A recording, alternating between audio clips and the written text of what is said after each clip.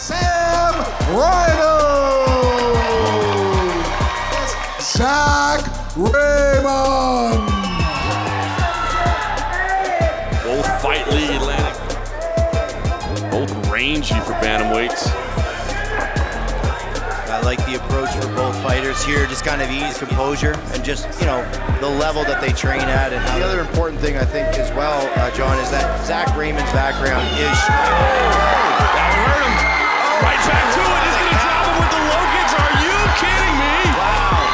For our winner in the red corner from Dartmouth, Nova Scotia, Sam Reyno.